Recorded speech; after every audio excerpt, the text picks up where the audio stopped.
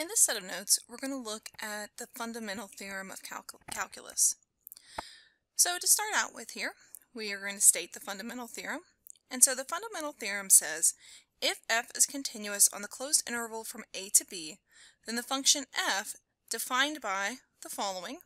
So here we have capital F of x is equal to the integral from a to x fu du, where x lies between a and b is continuous on the closed interval a and b and differential, differentiable on a, b with the derivative of f of x equal to little f of x. So let's kind of break down what's actually going on here in this definition. So if you'll recall, we talked about how integration looks at the area under the curve, or under a curve.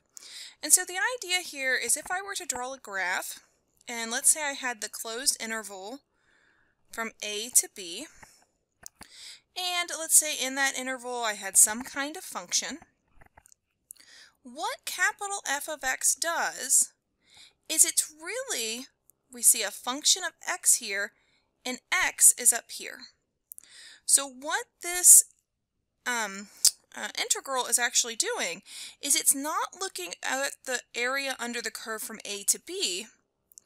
It's saying if we have an x somewhere in between A and B, the integral is equal to this area.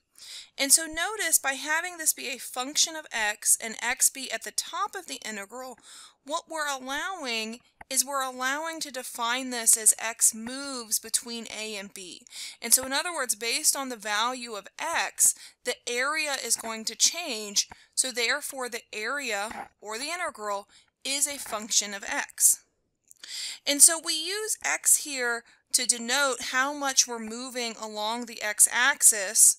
And so when we define the function, and so notice the function piece, this piece right here is actually defining the curve. And so we don't want to put x in here again because then we would have x both defining the curve and where we are along the x-axis. So typically, you're going to see a different letter in there when we have x you know, in, at the top of the integral where x is defining where we are along the x-axis. Now, the two most common ways that I see this written are with fu du, and then I'll also see this written as a to x f of t dt. And I've noticed that your textbook uses both of these. It doesn't really matter which one you choose, but the important thing here is if we have a t inside the function, we have dt, and if we have a u inside the function, we have du your book, there's actually a misprint in your book. So when you read this section in your book where they're introducing this idea of the fundamental theorem of calculus and they're giving you some background, you'll notice um, in line 6.6 and 6.7, there's two places where they say f of t du. And I believe that that is a typo there. Um, they either need to have f, f of t dt or f of u du, but you don't want to mix the two. And again, the reason we're doing this is because capital F is a function of x, and the x that is changing is our position along the, the x-axis. No matter where we are along the x-axis, we're still evaluating the same curve up top. And so notice if we were allow if we had x again inside of the function instead of a u, what that would suggest is that we might have different curve. So that, that's why we want to be very careful with how we write that. Now, you should notice that this looks very similar to what you have seen before. And so, looking at this, let's look at a couple examples that we could immediately solve just by applying this theorem. And so what we're going to focus on is finding the derivative of y with respect to x, and we have a couple different y's defined here. So let's look at our first one we're first going to note that the function f of x equal to 4 minus x squared divided by 2 is continuous. So notice that function is coming from right here.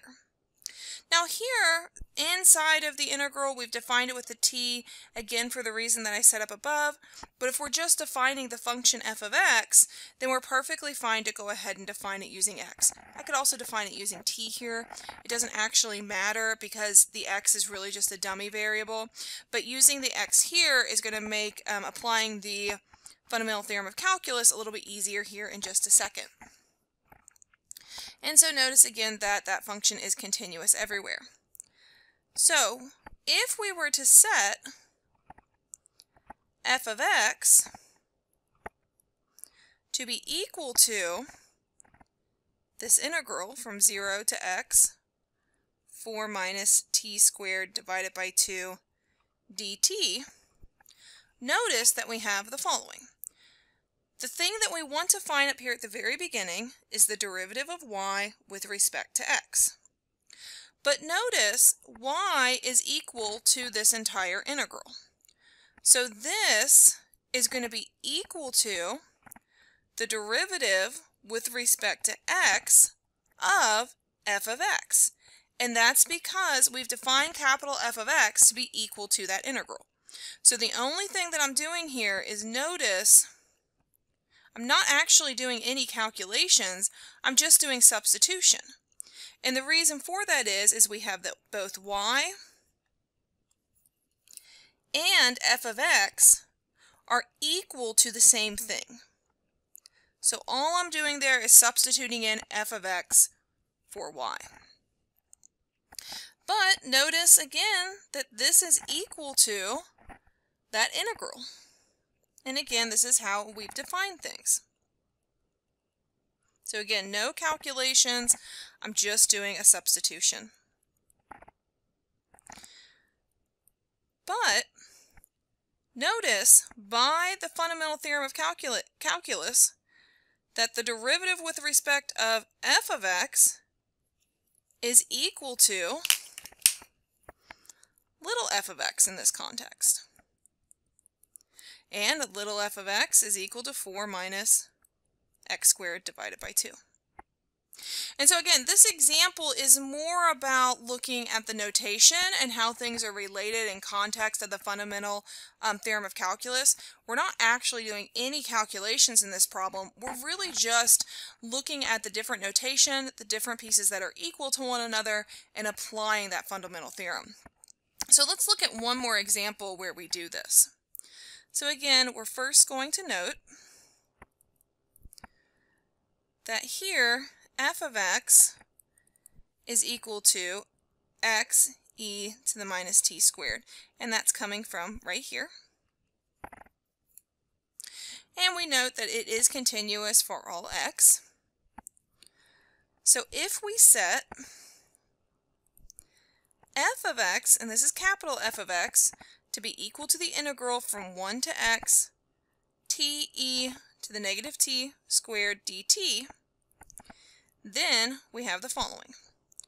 The derivative of y with respect to x is equal to the derivative with respect to x of capital F of x, which is equal to the derivative with respect to x of the integral,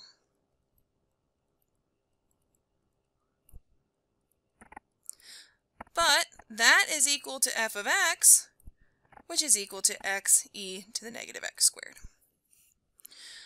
So essentially what this is showing is that differentiation can reverse integration and vice versa. And so this should start to look very similar to what we did with the antiderivative back in section 5.10. So the next section in your book looks at Leibniz rule and gives a rigorous proof of the fundamental theorem of calculus. I'm not going to cover that here, but I do highly recommend um, have a read through that and look through that section. So the first part of the fundamental theorem of calculus tells us this piece right here. So then that also tells us that the derivative of capital F of x is equal to little f of x, and that's what we just showed in those examples because notice in each of these, we're taking the derivative of capital F of x and we end up with little f of x provided that f of x is continuous over the range of integration, and so that's why we always want to say for each of those that function is continuous. ends up that this is the exact same thing as saying that capital F of x is the antiderivative of little f of x. And so again, remember that we looked at that in section 5.10. So this idea of the antiderivative leads us to the definition of what's called an indefinite integral. And so here is the definition. So let's look at a couple different pieces here to see what we have. So the first thing to notice here is that what we are going to end up with is the same as the general antiderivative. So we could use that notation that we used previously for the general antiderivative, or we could use this notation. We're going to end up with the exact same thing. Also, when we define the general antiderivative, we typically are going to use x in the func function. And again, this is because we do have a function of x here. Now, on the right-hand side of the equation, just like we saw before, since x appears at the top of the integral, we are going to use a dummy variable inside, and so you'll typically either see u or you'll see t here. And then the last part, you'll notice here in this piece we go from a to x. It ends up that the starting point is not important because different starting points are only going to differ by this constant c. So if you were to vary where A was, you would just add on or subtract from C. It would still be the difference of a constant. And so for right now, we don't actually worry about the value of A. So let's compute an indefinite integral and see what this is going to look like. So the first thing we need to do is we need to find a function capital F of x such that the derivative of f of x is equal to x to the 10th. Now, we saw problems like this when we worked with the antiderivatives. And so remember that when we worked with the antiderivative, we were essentially trying to work backwards. And we're going to do the exact same thing here. So the solution is the following. The indefinite integral of x to the 10th dx is equal to 1 over 11 x to the 11th plus c. And so notice this piece right here, that's that antiderivative that we saw back in section 5.10. And here c is a constant. And just like with the antiderivatives, we always want to check things. So let's take the derivative of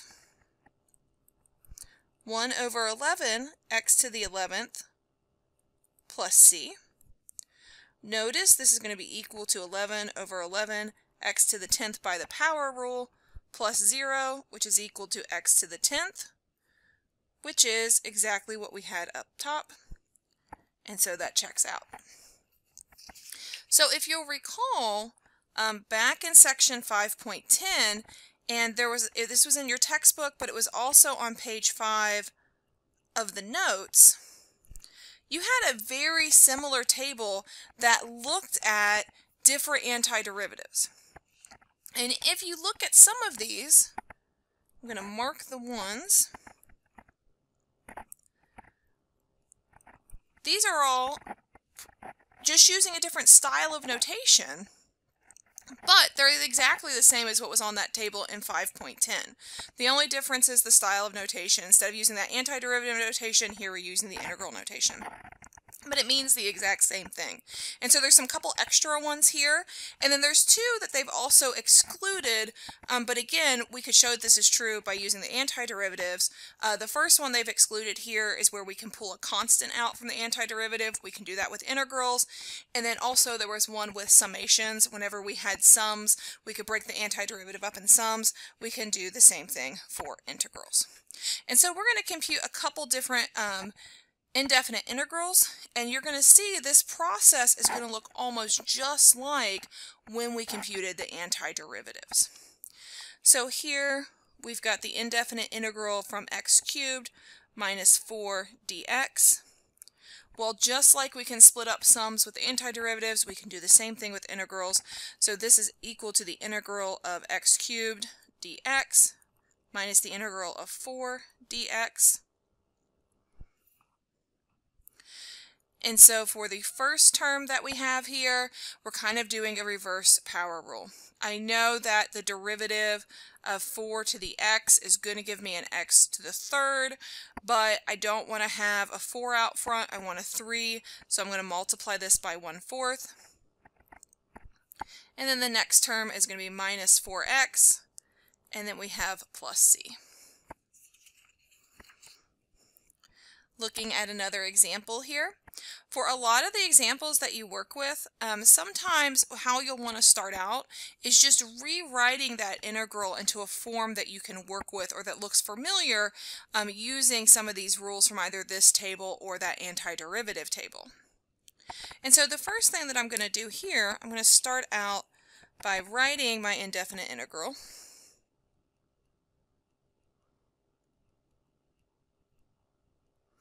Now, looking at this, you know, it looks kind of complex to deal with this fraction, and I note that I've only got a single term in the denominator, and I've got two terms in the numerator. So the first thing I'm going to do is split this into two fractions. So at first, I'm really not going to do anything with the integral. I'm just going to split the fraction.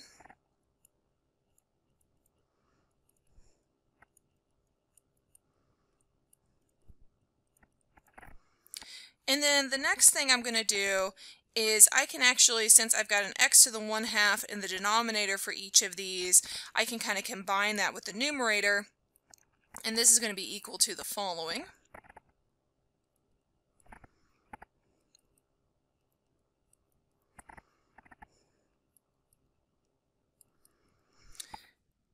And now I'm going to use that rule with the summations and pulling out constants. So this is going to be equal to 1 half times the integral from x to the 5 halves plus, oops, and there's a dx there, plus 3 halves times the integral x to the 3 halves dx. And then again, just like in section 5.10, when I was thinking in terms of the antiderivative, what I'm trying to do here is apply these rules, and really what I'm doing is I'm working backwards. So for each of these, I'm asking myself, okay, what what is going to give me a derivative that's equal to 5 divided by 2, and what is going to give me a derivative that is equal to x to the 3 divided by 2. And so again, it's kind of that reverse power rule. And so here we're going to end up with the following.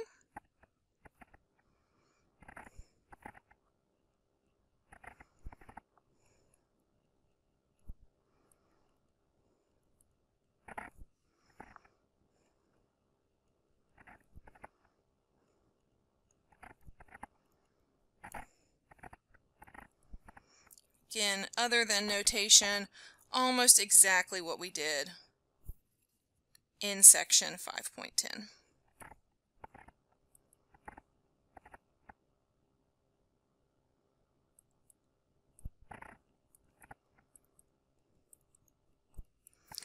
Right, and so here is one more example. So again, the first thing I'm going to do is to get this in a form that's a little bit easier to work with. And so I'll first note that this is equal to x minus 1 times x minus 1 dx, but that's equal to the integral of x squared minus 2x plus 1 dx. I'm going to break this up by the sums, so I'm going to have this is equal to the integral of x squared dx minus the integral of 2x dx plus the integral of 1 dx. Now when I go through here, again, I'm thinking of kind of that reversed power rule. And I get the following.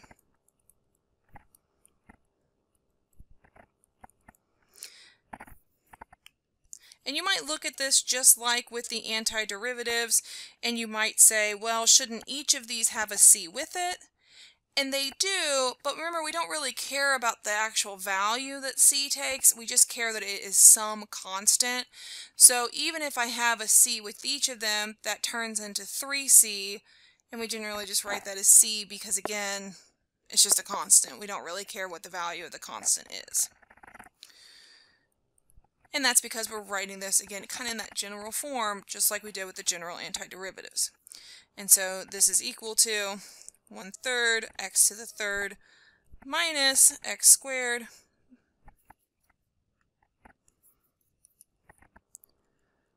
plus x plus c. And then let's just do one more here. So again, first thing I'm going to do is I'm going to pull my constant out of my integral. And then again, I'm thinking of working backwards. I know I need something so that when I take the derivative of it, it's going to give me a 3x. Well, we know the derivative of e to the x is e to the x, so the derivative of 3, sorry, e to the 3x, well, we're going to have to apply the chain rule, but I do know I'm going to have an e to the 3x. But when I were to take the derivative of e to the 3x, I would also multiply by 3 by the chain rule. And so here, what I want to have is a 1 third plus c. And again, this is so that when I take the derivative of e to the 3x and multiply by 3, I just end up with e to the 3x. Exact same thing we did with those antiderivatives back in section 5.10.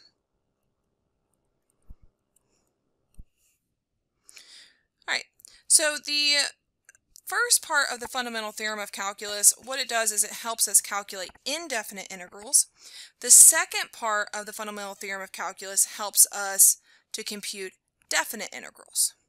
So in other words, the indefinite integrals, just like the general antiderivative, they all include that c. So we only get it up to a family of functions. Whereas in a definite integral, we're not going to have the c, we're actually going to have the value. Very similar to the initial value problems when we worked with the antiderivatives in chapter 5.10. Alright, so again, for example, if we look at that example that we just had up above, notice we do have that c in the solution, but we may want to evaluate a definite integral, and so a definite integral could go from 2 to 5. And we saw some definite integrals in the previous section, and we're going to see how the fundamental theorem of calculus can actually help us with that. So the second part of the fundamental theorem of calculus tells us the following. If we want to evaluate an integral from a to b, what we can do is take the indefinite integral from b minus the indefinite integral from a. So why does this work? So again, let's think of a graph where we have an inter interval from A to B. And so what is happening here is if we were to look at the area under the curve, if we take the interval part the integral evaluated at b, the indefinite one, that would give us all of the area back evaluated at A would give us all the area back from A, and if we subtract f of b from f of a, we're left with the middle, which is the area between a and b, which is exactly what we want. So here, f of x is any antiderivative of f of x, and f capital F prime of x is equal to f of x. So here, the reason that any antiderivative works, and we're going to see this here in a minute, is remember that all of the antiderivatives have that constant. And so in each of these, what we're going to end up with is a plus c and a plus c, and they're going to cancel out. And your book gives a pretty detailed discussion of all of this. I'm just kind of giving an overview with these. So again, as always, do make sure that you read through that more thorough discussion that's in your textbook. All right, so we are going to evaluate the definite integral from 0 to 3 of 2x squared minus 1 dx. So the first thing that we are going to note is that that function 2x squared minus 1 is continuous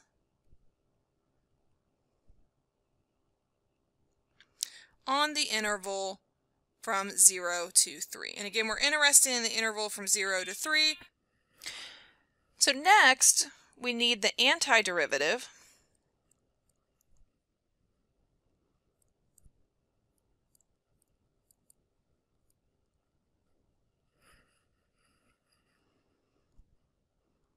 of 2x squared minus 1.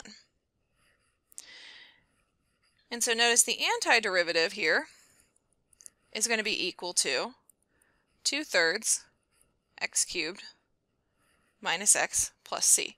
And again, that's just like all the other examples we've seen. We're basically applying the reverse of the power law or the power rule. So next, what we're going to do is we are going to evaluate at the two different values. So first let's evaluate at f of 0, so the lower endpoint. The lower endpoint, we're going to have 2 thirds times 0 cubed minus 0 plus c, so that will just be equal to c. At the upper endpoint, we're going to have f of 3, which is equal to 2 thirds times 3 cubed minus 3 plus c. And this is going to be equal to 15 plus c. So now, to evaluate the definite integral from 0 to 3, 2x squared minus 1 dx, this is going to be equal to f of 3 minus f of 0, which is equal to 15 plus c minus c. So see how those constants are canceling out, which is just equal to 15.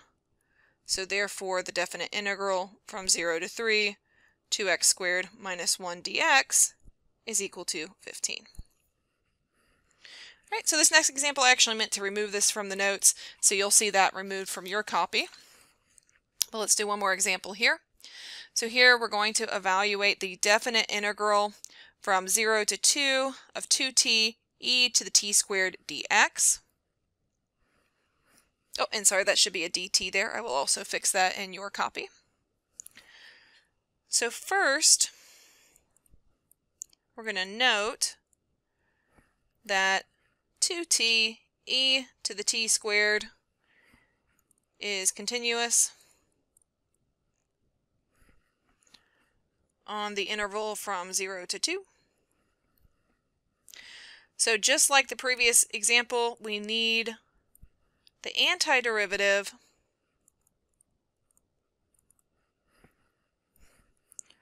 of 2 to the t e to the t squared.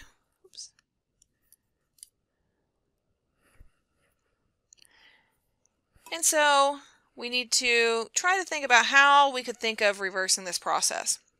Now typically when we're working with e to the anything, that's always a good place to start because you know that if you take the derivative of e to the anything, that value is going to end up in the derivative.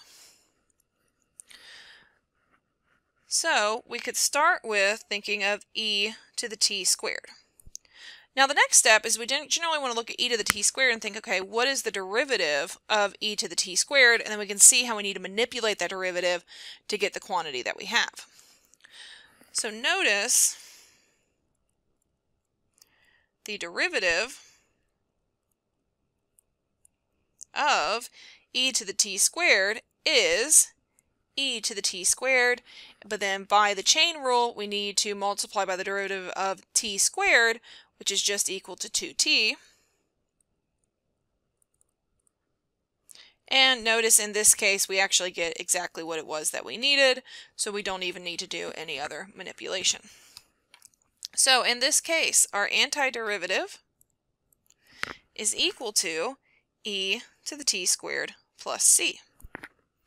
So again, we're going to evaluate at the lower and upper point. So f of 0 in this case is equal to e to the 0 squared plus c, which is equal to 1 plus c f to the 2 is equal to e to the 2 squared plus c, which is equal to e to the fourth plus c. And again, c is a constant.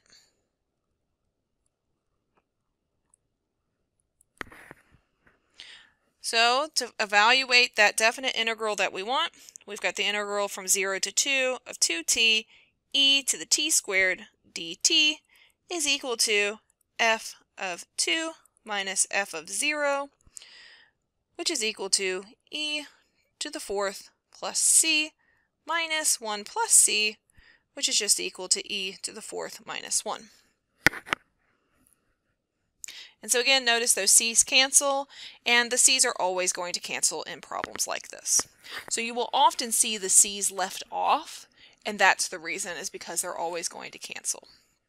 Now, another form of notation that is very common, and I just I want to show you all so you've at least seen it, is if we're evaluating the integral from 0 to 2, 2 to the t, e to the t squared dt, and you'll see this notation more later on, but Notice that the antiderivative piece is e to the t squared. Often what we'll write is the antiderivative and then we'll say we're going to evaluate it, so that's a vertical bar from 0 to 2. And so this is equal to e to the 2 squared minus e to the 0 squared, which is equal to e to the fourth minus 1, so we get the exact same thing. And so this notation, um, once you get to where you're doing a lot of integrals, um, this notation is the most commonly used. So as always, if you have any questions, you want me to look at anything, please let me know.